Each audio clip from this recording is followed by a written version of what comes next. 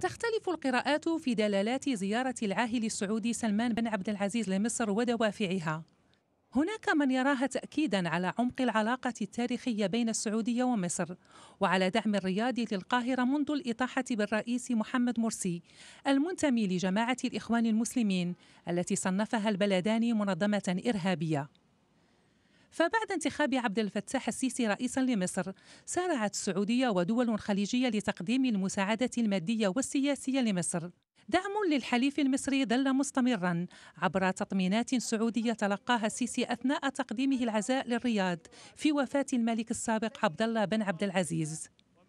انتقال السلطة في بلد محوري مثل السعودية وإجراءات الملك الجديدة التي وصفتها بعض وسائل الإعلام بأنها انقلاب على سياسة الملك عبد الله. لم تغير نهج الرياض في دعم الاقتصاد المصري وفتح مجال الاستثمار في قطاعات عدة. العلاقة بين مصر والسعودية علاقة أبدية علاقة حضارة علاقة دينية والشعبين مرتبطين ببعض. والسعودية لا شك هي تعتبر أقوى مستثمر عربي بيؤدي خدمات ومساعدات لمصر في هذا الجانب الاقتصادي. في المقابل هناك من يرى أن تلك الزيارة تحمل أبعادا سياسية على ضوء المتغيرات التي تعصف بالمنطقة.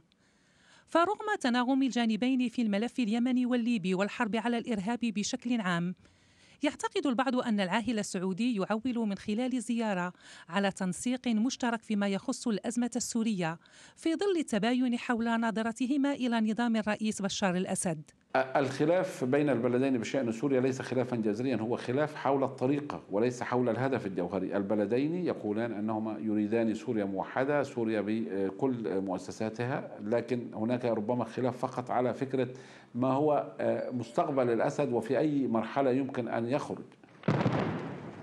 أزمات إقليمية أظهرت تناقضات بين السعودية ومصر وتختبر الدولتان على ضوئها مدى قوة التحالف بينهما.